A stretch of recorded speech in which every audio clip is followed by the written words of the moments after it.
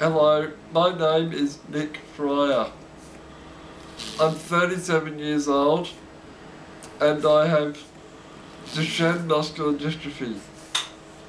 And this is my twin brother, Chris, who also has Duchenne muscular dystrophy. The video that you posted, do you know which one?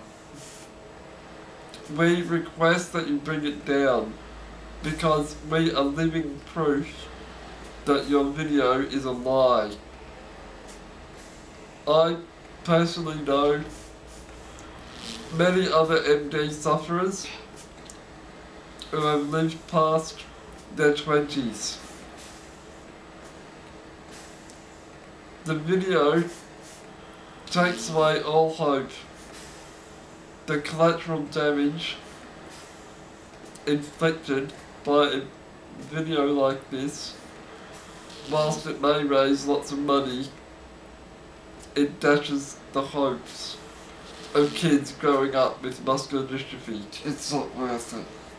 Hope is the most important thing and is the most the major reason I have reached the age of 37 we ask that you bring that video down now. Thank you. Bye.